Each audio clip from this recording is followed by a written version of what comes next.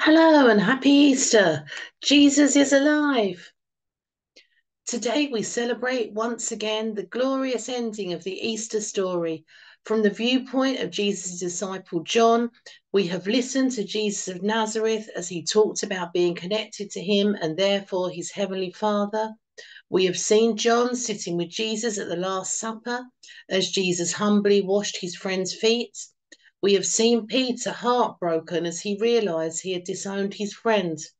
We have seen Jesus largely silent and non defensive before the Jewish leaders and the Roman governor. We have seen Jesus achieve, achieve salvation for humanity on the cross. And we have seen him form a new relationship with his friend Mary as the risen Messiah. Today we are with the male disciples as they meet in a locked room. Let's read now from the Gospel of John. This is John 20, 19 to 23. On the evening of that first day of the week, when the disciples were together with the doors locked for fear of the Jewish leaders, Jesus came and stood among them and said, Peace be with you. After he said this, he showed them his hands and side. The disciples were overjoyed when they saw the Lord. Again, Jesus said, Peace be with you. As the Father has sent me, I am sending you. And with that, he breathed on them and said, Receive the Holy Spirit. If you forgive anyone's sins, then sins are forgiven. If you do not forgive them, they are not forgiven. After seeing what the Jewish leaders did to Jesus, the disciples are scared for themselves. Peter and John have seen that Jesus' tomb is empty and Mary has told them that she met the risen Lord, but the reality of this has not yet hit them. Suddenly, Jesus is in the room with his friends.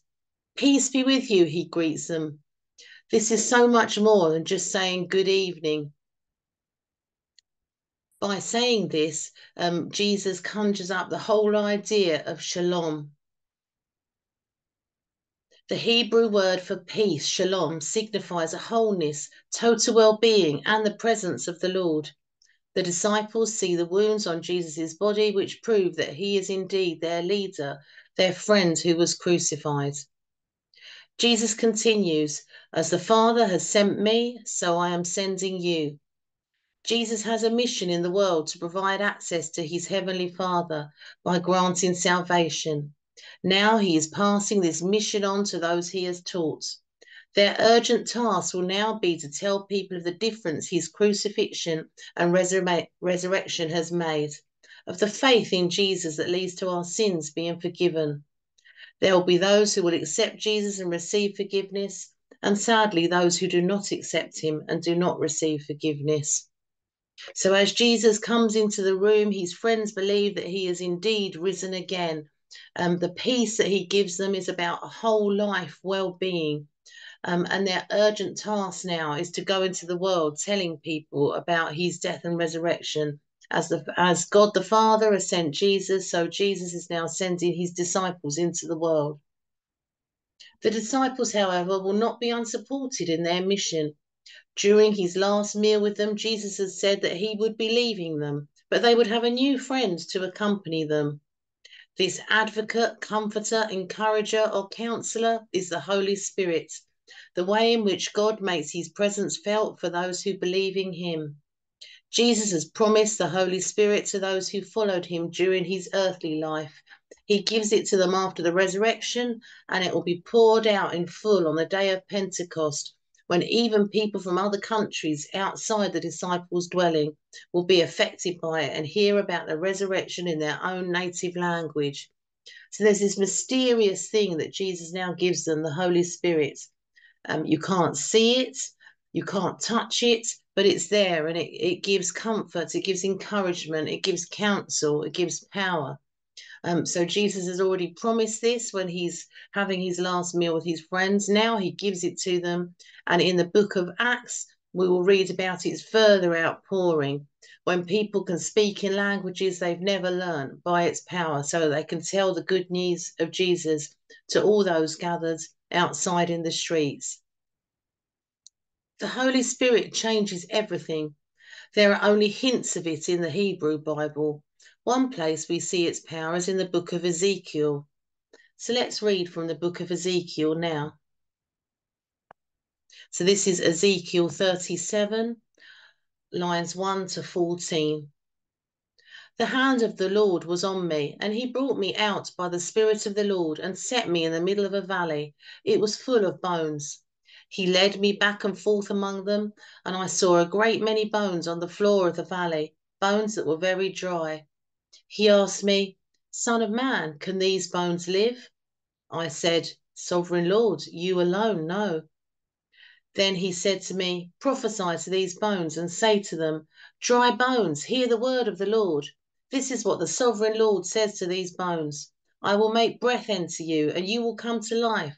I will attach tendons to you and make flesh come upon you and cover you with skin. I will put breath in you, and you will come to life. Then you will know that I am the Lord. So I prophesied as I was commanded, and as I was prophesying, there was a noise, a rattling sound, and the bones came together, bone to bone. I looked, and tendons and flesh appeared on them, and skin covered them, but there was no breath in them. Then he said to me, Prophesy, Son of Man, prophesy to the breath, and say to it, This is what the sovereign Lord says. Come, breath from the four winds, and breathe into these slain, that they may live. So I prophesied as he commanded me, and breath entered them. They came to life and stood up on their feet, a vast army. Then he said to me, Son of man, these bones are the people of Israel. They say, Our bones are dried up and our hope is gone. We are cut off. Therefore prophesy and say to them, This is what the sovereign Lord says. My people, I am going to open your graves and bring you up from them. I will bring you back to the land of Israel. Then you, my people, will know that I am the Lord. When I open your graves and bring you up from them, I will put my spirit in you and you will live, and I will settle you in your own lands. Then you will know that I, the Lord, have spoken, and I have done it, declares the Lord. Ezekiel was a prophet to the Israelite people who had been exiled from their homelands and felt like there was no hope for them as a people. The Lord shows her that this is not the case. He tells Ezekiel to prophesy over some bones Flesh appears on them, but they are still dead bodies. Then the Lord tells Ezekiel to breathe from the four winds. This wind or air in motion is also breath and the Spirit of the Lord. Breath from God has given life to the first man, Adam. Now, Ezekiel, by accessing the Holy Spirit, brings an army back to life. Although it is unlikely that Ezekiel would have believed in bodily resurrection in his time, many see this story as a foreshadowing of Jesus rising from the dead, the first fruits of all who believe. Indeed, that I have done it, says the Lord, reminds me of when Jesus says in the book of John on the cross, It is finished, it is completed, accomplished. So the Holy Spirit changes everything. We see that in Ezekiel, um, where a dead army comes back to life. And we will see this um, after Jesus' resurrection in an even more dramatic and amazing way. The spirit of the resurrected Jesus transforms everything. Our three in one God is Father, Son, and Spirit. The Spirit gives us peace, joy, strength, and guidance in our everyday lives if we will just ask God for it. In 1968, a Greek Orthodox bishop, the Metropolitan Ignatius of um, Latakia, Syria, spoke to the Ecumenical Council of Churches about the difference the Holy Spirit makes. He talked about the difference between without the Holy Spirit and in and with the Holy Spirit. So he said, without the Holy Spirit, God is far away. In and with the Holy Spirit, the risen Christ is here and now. Without the Holy Spirit, God is a, the gospel rather is a dead letter. With and in in and with the Holy Spirit, gospel is the power of life. Without the Holy Spirit, church is simply an organization.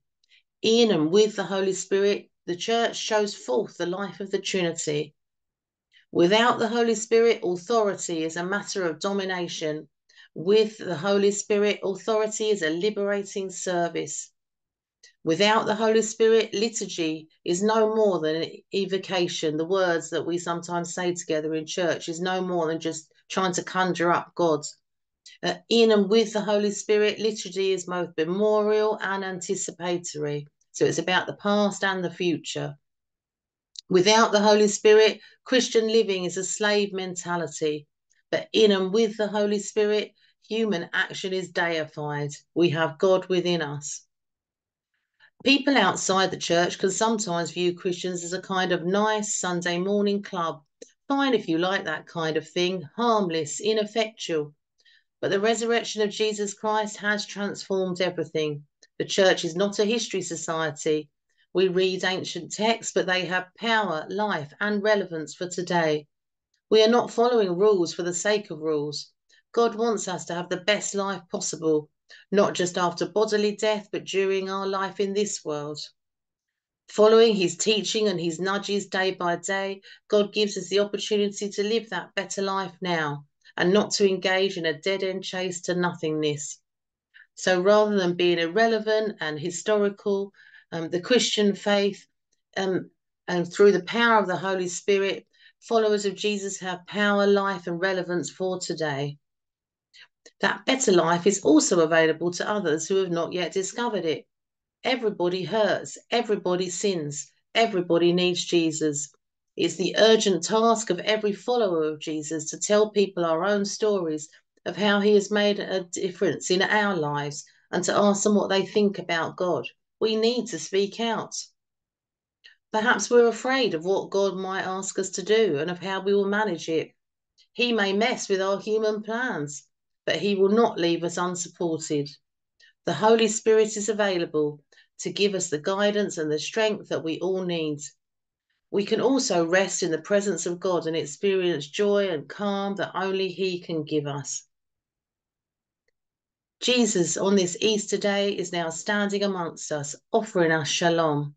Peace be with you, he says. As the Father has sent me, so I am sending you. He breathes on us and declares, Receive the Holy Spirit, the transforming spirit of my resurrection. Let it guide and empower you as you follow me and join in with my mission in this world. Happy Easter.